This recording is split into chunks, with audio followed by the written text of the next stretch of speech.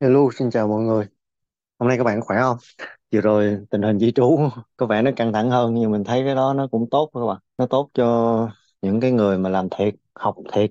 Rồi mừng quá, có luật sư vô rồi đây. Luật Dạ sư và vâng. thầy dạy PT luôn rồi đây nè. Ờ, hello mọi người. Rồi đó có bạn chắc bạn nào học PT chắc biết thầy rồi đó. Dạ, dạ chào thầy Jack, thầy dạy em. Thì bây giờ anh anh anh nhờ em chia sẻ với các bạn những cái thông tin gì mà nó nó mới đợt này thì tóm tắt sơ sơ gạch đầu dòng mấy cái thôi để bạn nào mà mà muốn đi theo cái dạng nào thì các bạn ờ, lưu ý rồi mời em À, anh Tâm à, chắc có kế hoạch à, nói chuyện với các bạn rồi. Mình ừ. thì à, anh Tâm có à, rủ à, trong ngày hôm nay nên là cũng à, chưa có cái sự chuẩn bị à, tốt nhất. Mình cũng đã nói chuyện với cả rất là nhiều bạn à, từ sau khi mà có à, cái chiến lược di trú gần đây nhất. Thì à, việc đầu tiên thì mình cũng muốn chia sẻ là chiến lược nó cũng giống như kiểu một hình thức dự thảo. Họ được đưa những cái chiến lược này được đưa ra còn phải thông qua à, bởi thượng viện hạ viện rồi thay đổi luật. Tất nhiên là sẽ có những cái yếu tố mà luật không cần thiết phải thay đổi vì à, luật thì nó có hai kiểu. Một cái thì là do bộ có quyền được phép gọi là đưa ra những cái sự chỉnh sửa nếu mà nó đã có tồn tại sẵn. À, ví dụ chẳng hạn là mức lương yêu cầu dành cho những bạn à, đi uh, 482 các thứ chẳng hạn thì đấy là cái yếu cái yếu tố mà có thể là không cần phải chỉnh chỉnh luật mà cái đấy là do bộ di trú đưa ra cũng được. Thế nhưng mà khi mà họ muốn giới thiệu các cái dòng visa mới hoặc là ví dụ tăng điểm tiếng Anh à, và à, họ muốn thay đổi cái hệ thống chấm điểm định cư tay nghề các thứ chẳng hạn thì tất nhiên là những cái đấy nó tác động đến các cái bộ luật à, và các cái chính sách nó gọi là Migration Act với cả à, Migration Regulations thì những cái đấy là bao giờ cũng phải đi qua bên à, thượng viện hạ viện để xong rồi sau đó à, phải được cả hai à, cái khu vực đấy nó chấp nhận thông qua thì xong rồi sau đó mới được chính thức đưa vào. Thì à, những cái gì mà họ đưa ra trong cái hôm vừa rồi à, mình thì mình nghĩ là có những cái sự thay đổi về chính trị giữa gọi là cái đảng mà đang cầm quyền so với cả đảng trước. Thì nói chung là cứ đảng nào mà lên thì sẽ nói là các cái chính sách của các cái đảng trước nó không tốt và về cơ bản thì tất nhiên là họ rất là tham vọng. Thì ờ, ví dụ chẳng hạn những cái ờ, thay đổi đáng chú ý à, thứ nhất là họ thấy là chẳng hạn những cái dòng visa của úc bây giờ nó rất là cồng kềnh và nó rất là nhiều thì họ đang muốn làm sao rút về một số các cái dòng visa chính. Có thể à, những cái mà họ đưa ra ở đây tất nhiên sẽ vẫn là các cái dòng visa định cư tay nghề nhưng mà sẽ có những cái sự thay đổi để loại bỏ bớt một số những cái uh, yếu tố bây giờ đang tăng điểm mà không có giá trị lắm. Ví dụ chẳng hạn như kiểu uh, các cái bằng uh, NATI uh, bằng CCL dịch thuật thì họ thấy là cái đấy nó không có hỗ trợ nhiều lắm cho cái kỹ năng của cái người mà định cư ở lại được.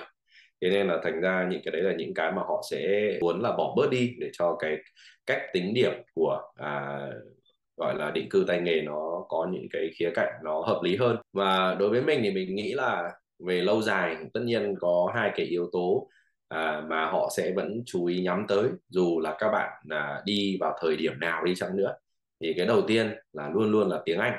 Đấy, à, rất là nhiều bạn à, có hỏi mình là ví dụ chẳng hạn là mình làm visa du học có rất là nhiều bạn hỏi là em muốn học ngành để định cư? Đấy, thế nhưng mà bây giờ em không có tiếng Anh thì sang bên đấy em có học em nợ tiếng Anh được không? Và em sang bên đấy thì bao nhiêu lâu thì em định cư được?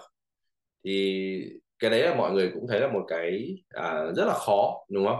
Bởi vì rõ ràng là một cái quốc gia phát triển và họ sẽ không thể nào cho phép những cái gọi là lao động mà tay nghề mà hạng thấp bởi vì đặc biệt là hạng thấp ở đây mình không nói đến là trình độ nhé trình độ có rất là nhiều người có trình độ tốt.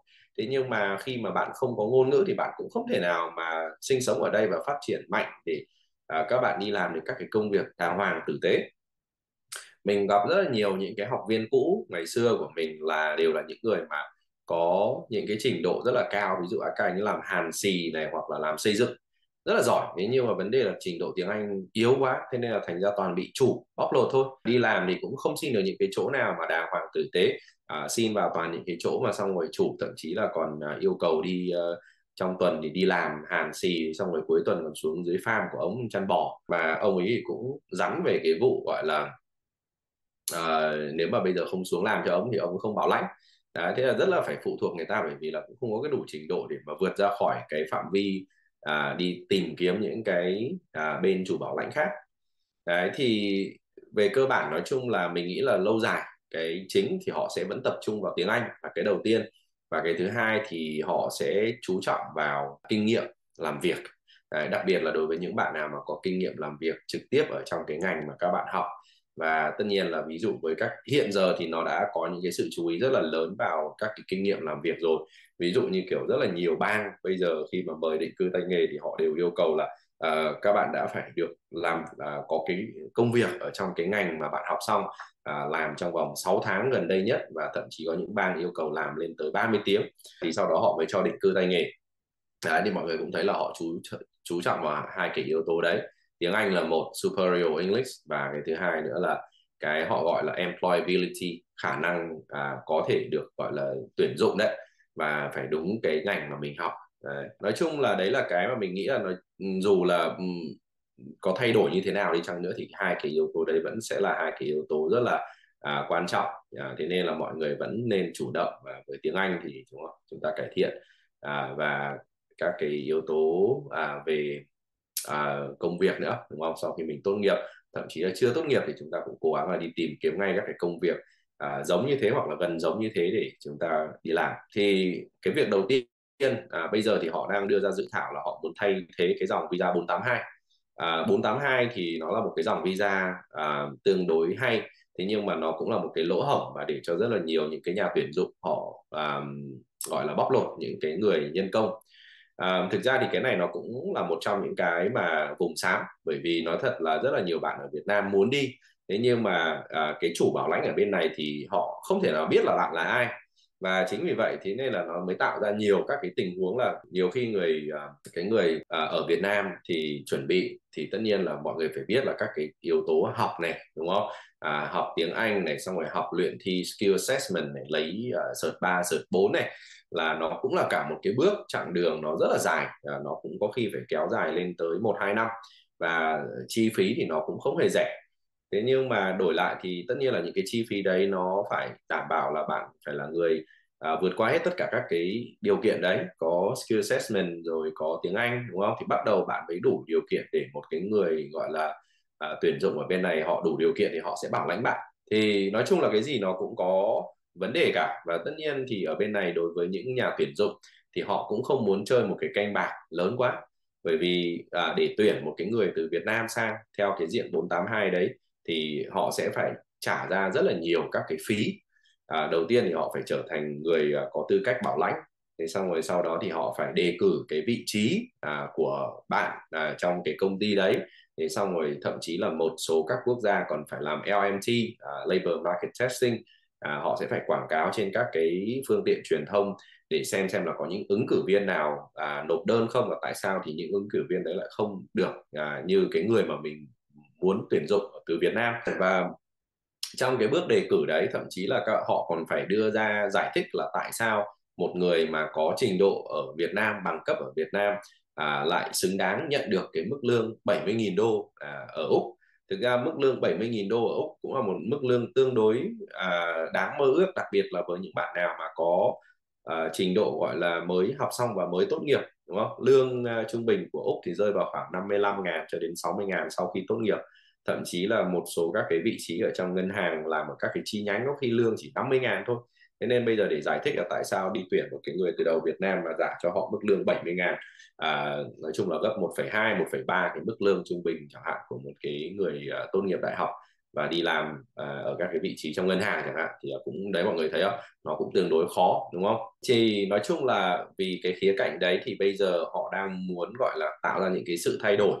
Và tạo ra sự thay đổi thì cái thay đổi ở đây có thể chính là yếu tố họ muốn xây dựng một cái bảng đăng ký của những cái nhà tuyển dụng mà đủ tư cách thì những cái người à, nào mà muốn tuyển dụng thì họ sẽ phải đẩy à, làm cái tư cách bảo lãnh. Thì xong rồi sau đó thì họ sẽ có một cái một cái nhóm đấy.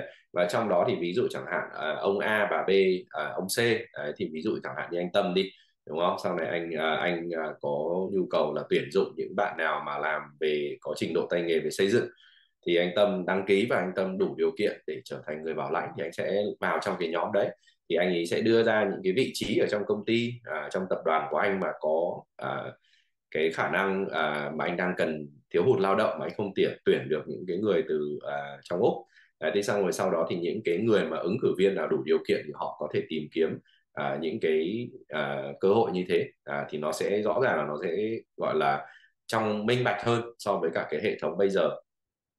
Và những nhà tuyển dụng thì không phải trả ra cái chi phí lớn quá bây giờ thì nói chung là trước khi để bảo lãnh một người thì chi phí của à, đại diện di trú hoặc là luật sư rồi cộng với cả lệ phí chính phủ cho tất cả rồi à, rồi một cái gọi là à, sát levy thì cái đấy nó là đóng tiền cho chính phủ để họ gọi là đào tạo những cái người à, ở trong úc.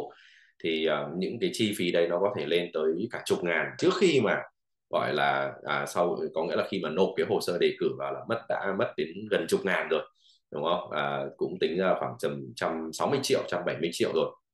Và cũng không biết là có được hay không nhé à, và nếu mà trong trường hợp mà cái đề cử đấy không thông qua thì coi như là cái số tiền đấy cũng à, cũng mất trắng. À, thế nên là cũng rất là nhiều rủi ro đúng không? Mọi người tưởng tượng là bây giờ muốn tuyển dụng ai đó ở Việt Nam nhiều khi những nhà gọi là tuyển dụng họ còn phải lọc đến kiểu hàng chục hàng trăm hồ sơ. Thế bây giờ nếu mà chọn được một hai người à, cứ cho là chọn được khoảng ba người vào trong danh sách đi rồi sau đó nếu mà tuyển ra thì cũng không thể tuyển một lúc cả ba được. À, cùng lắm là tuyển một hai người thôi đúng không? Thì các cái chi phí dành cho doanh nghiệp bảo lãnh nó cũng rất rất là lớn. Đấy, thì đấy là lý do tại sao mà họ thấy là có một cái yếu tố nó hơi bất hợp lý. Và à, thêm vào nữa thì cái mức lương à, yêu cầu bây giờ là 70 ngàn thì nó lại không có quá phù hợp đối với tất cả các cái nhóm ngành nghề. Đấy. vì thế nên là thành ra thì họ sẽ cố gắng chia ra thành 3 tầng. Và mỗi ở mỗi một cái tầng thì cái mức lương yêu cầu à, dành cho cái việc bảo lãnh nó có thể khác nhau. Đấy, thì nói chung là hopefully là trong năm tới thì cái cái kế hoạch về lao động có tay nghề tạm trú đấy thay thế cho 482 thì mình thấy cái đấy nó tương đối tốt. À, tất nhiên là nó sẽ mở ra rất là nhiều cơ hội cho những bạn nào mà đã có skill assessment à, và cộng với cả có tiếng Anh thì các bạn sẽ tiếp cận được với các cái chủ bảo lãnh à, nó sẽ dễ dàng hơn à, và các cái chi phí đôi khi nó có thể giảm xuống được rất là nhiều. À, yếu tố tiếp theo thì à, tiếng Anh đúng không? Thực ra thì uh, cái việc mà tăng điểm tiếng Anh nó cũng đã là một cái từ rất là lâu mà họ nên làm rồi. Uh, trong một cái khía cạnh về gọi là nhìn vào điểm tiếng Anh thì mình cũng đồng ý là khi mà chúng ta ở Việt Nam à, môi trường sử dụng tiếng Anh nó không có à, thì cái việc mà đạt được các cái điểm tiếng Anh à, để đi qua Úc mà ví dụ chẳng hạn như kiểu à, điểm để đi du học từ à, 5.5 lên thành 6 Đấy, và à, ví dụ điểm để mà xin visa hậu tốt nghiệp visa 485 là từ 6 lên 6.5 mình nghĩ là cái này thì nó cũng hợp lý thôi bởi vì nó cũng đến thời điểm rồi.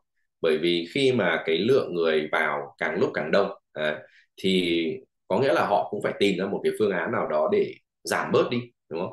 Thì thực sự thì úc nó là một cái địa điểm mình nghĩ là lý tưởng gần như nhất trong cái việc định cư à, đối với cả những cái bạn ở trong các cái độ tuổi trẻ đúng không? Trong khoảng 20 cho đến 35 à, và tài chính không phải là quá mạnh thì Úc nó là cái địa điểm mà mang tính chất là định cư rất rất là tuyệt vời. À, thì bây giờ ở cái thời điểm hiện tại thì à, Úc thấy cái tình trạng ví dụ như kiểu Canada ấy, mở ra cho yếu tố về mặt nhập cư tương đối dễ à, thế nên là thành ra bây giờ Úc đang hơi siết lại một chút thì họ cũng muốn là cái chất lượng của những cái người mà sang úc dù là du học đấy, sinh sống tạm trú hay là để định cư vĩnh viễn thì họ cũng muốn là những cái người đấy sẽ có cái khả năng à, để có mà hòa nhập được với cả cái cuộc sống về mặt lâu dài đúng không? Và khi mà cái lượng người đổ vào càng lúc càng nhiều à, nó ảnh hưởng đến vấn đề về mặt kinh tế đặc biệt là về mặt à, giá nhà ở thì dân nó cũng kêu gào nhiều.